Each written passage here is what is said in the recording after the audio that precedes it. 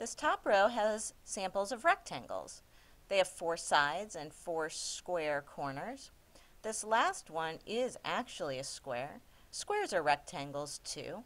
They have the four sides and these four square corners. The bottom row are not rectangles. They each have something that makes them a little different. This first one, the corners aren't shaped right. The second one, these corners aren't shaped right. They're more like rounded edges. This last one isn't even four sides. It's one, two, three, four, and this little guy, five sides. So top row shows examples of rectangles. This bottom row, these are not rectangles.